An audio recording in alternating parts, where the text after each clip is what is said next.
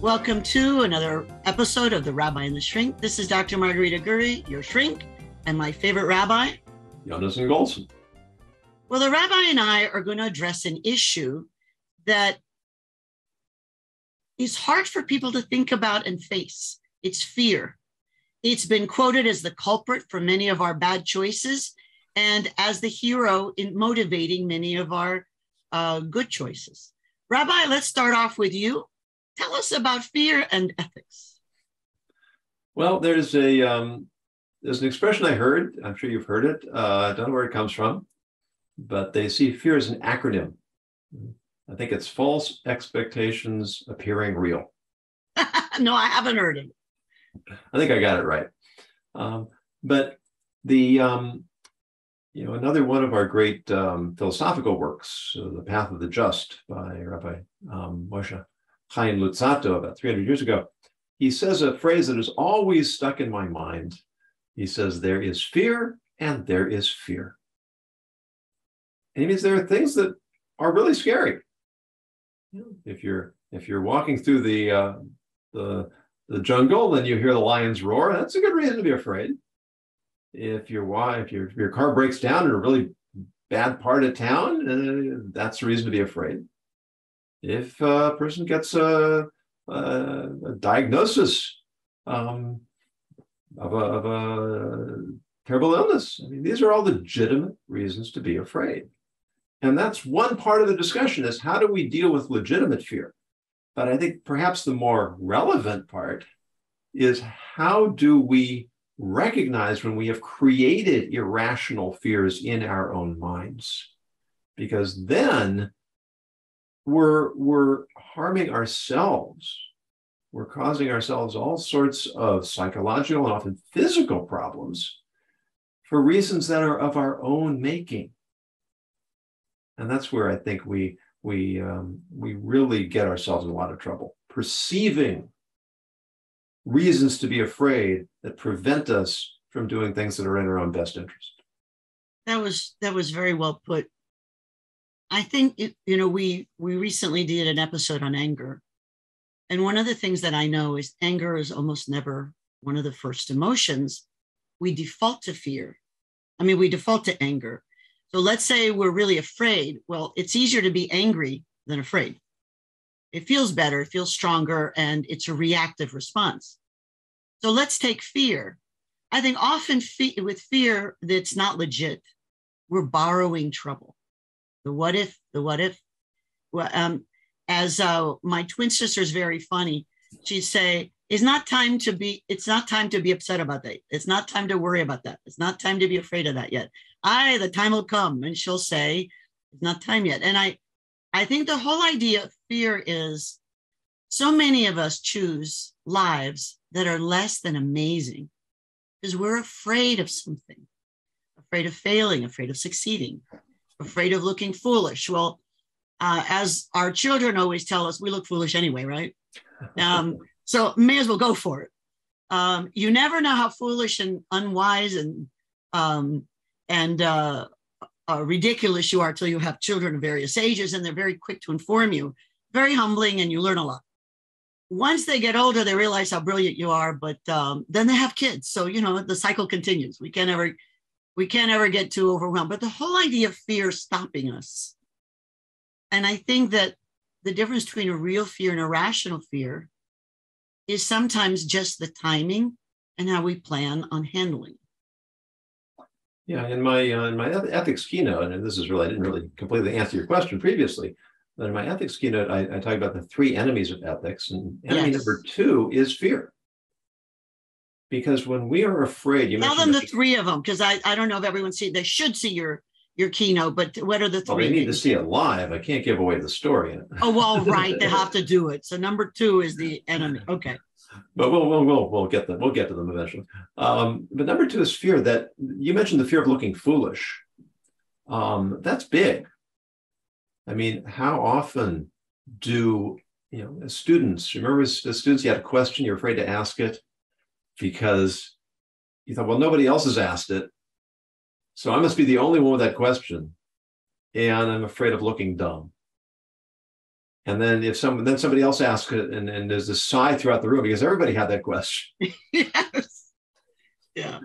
Um, their their fear of you know in in in business, in work, employment. There's fear of exceeding one's authority. There's fear of getting in trouble.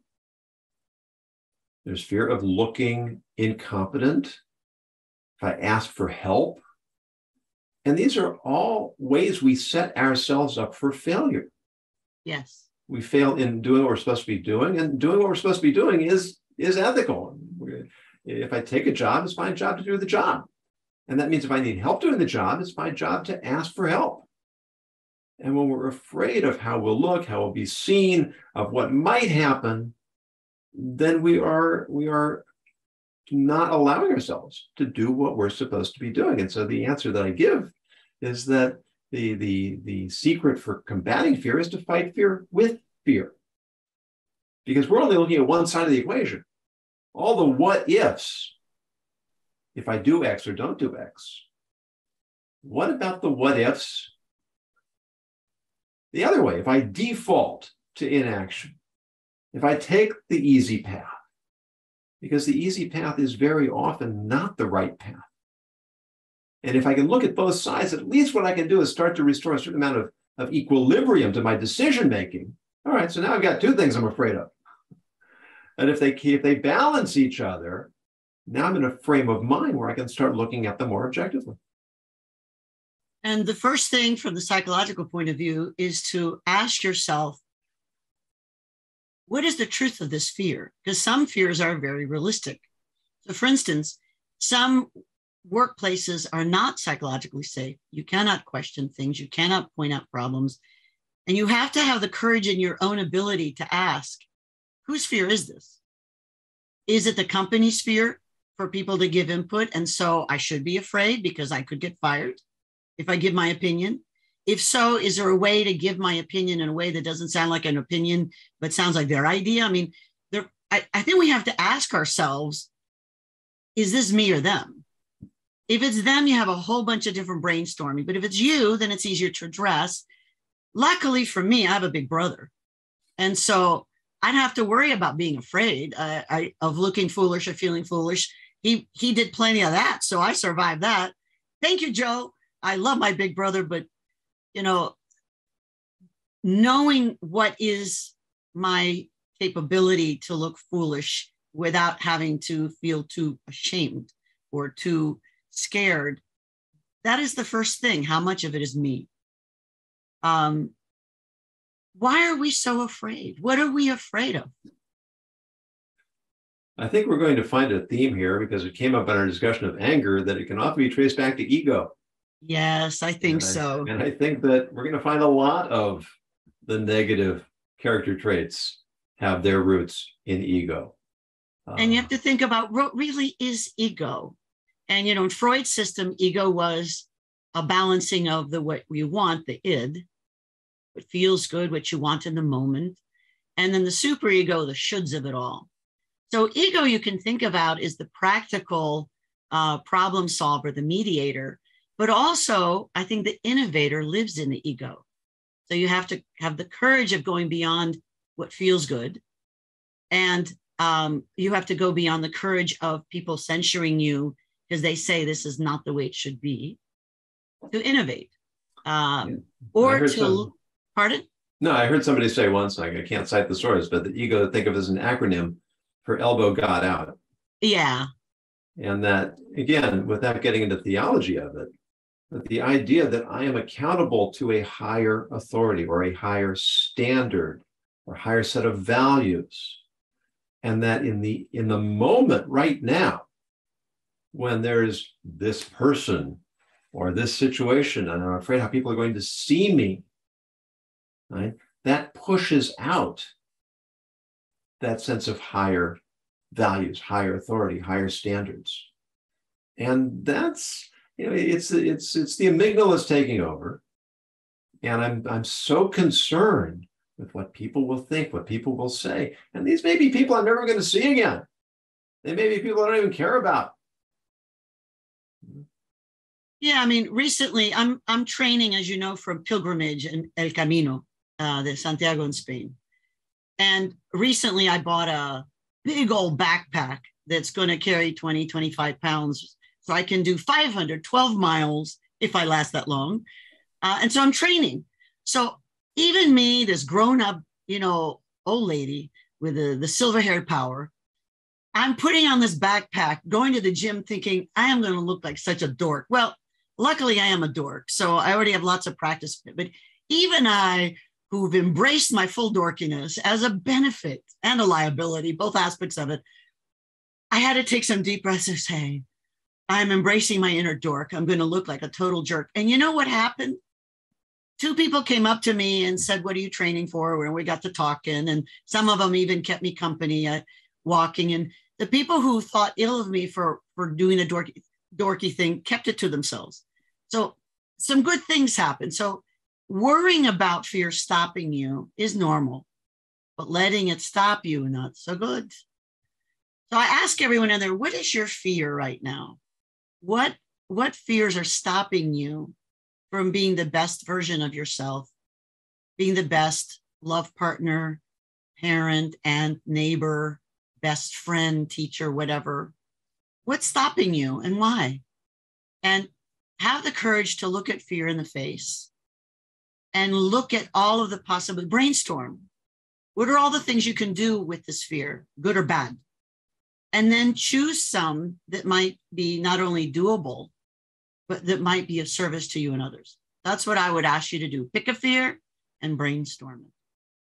Yeah. And you know, I think two of the most common fears, when we look across the board, there's the fear of no. If I ask for something, I won't get it. There's also the fear of yes. if I get it, maybe I won't be up to the task.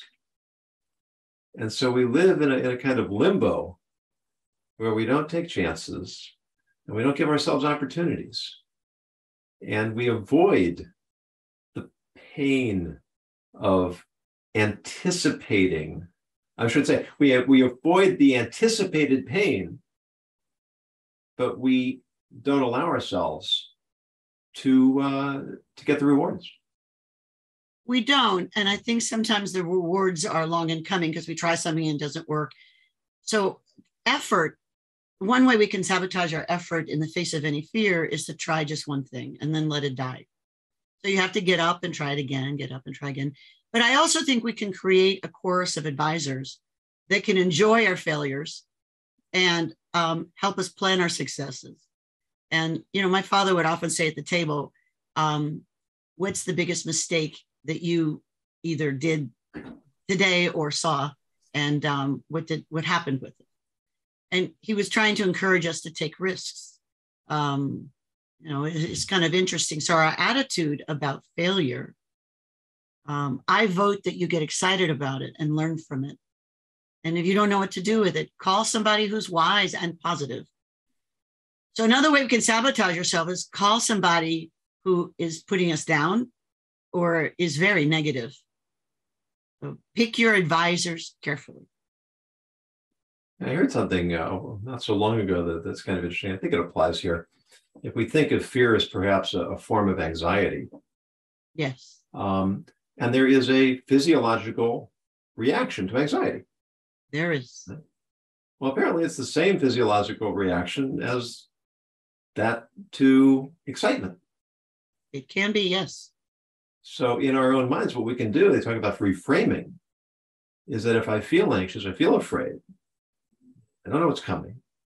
If I can convince myself, I can tell myself that, well, this is an opportunity, an opportunity for growth. It's an opportunity to learn. It's an opportunity to experience the unexpected and try to frame it as something that's worth that's worthy of excitement. So now I'm taking the same physiological response and channeling it in a positive direction where it can become empowering instead of channeling it in a negative direction where it's going to become uh, debilitating. My friend Dave Bricker would say, turn nervous into service and I I always like that that it's true. And um, my coach um, used to say, if you're not nervous, you're not ready. That you have to have the hyped up energy because it's your adrenaline. It's you getting ready to compete. Um, and some people avoid competition like they avoid the plague. And um, I think being afraid of coming in second, third, or last is ego. Um, it matters more what we learn with the race or the preparation of it. We don't have to win all the time. I don't know about you, Rabbi, but I, I've got a lot of great experiences of failing and failing greatly. Yeah, yeah, and uh, you know, I, I, I frequently quote. You've heard me quote Winston Churchill that uh, his yes. definition of success is going from failure to failure with no loss of enthusiasm. and the, and the truth is that it's not a failure unless we fail to learn from it. Yeah, and and if we stop ourselves from continuing the the journey, or if we blame other people, I think those are the only real failures. Yeah, and in fact, at the um, the recent uh, National Speakers Association, Association conference we both attended, one of the speakers there, if I can pronounce his name right, uh, Michael Ciannilli, I believe, one of the directors of NASA, and and he talked about the, the culture that they had of failure is not an option except it doesn't work because sometimes you fail. Yeah. And so he has reframed it as failure to learn from failure is not an option. That is so much better. Failure. And I think that's just it's so it's so powerful and so wise. And, and so yet relevant. so many people avoid that paradigm by not letting themselves fail. I mean, we all know people who since high school have stopped learning new things. Yeah. They've decided they're done. And if they want to choose a life like that, I think that's to me, obviously their choice, but um, I always wish them well and look forward to them having the, the, spark of courage or curiosity that would help them start learning again. Um, yeah, this is a wonderful quote by Theodore Roosevelt, and I don't have it handy, but um, he talks about the difference between the critic and the man in the arena.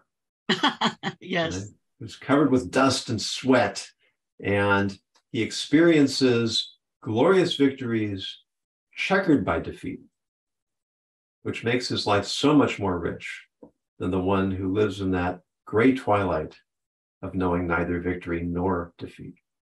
And we know that people who've had some experiences of challenges in their life not only are better problem solvers and critical thinkers, but they have more compassion for others.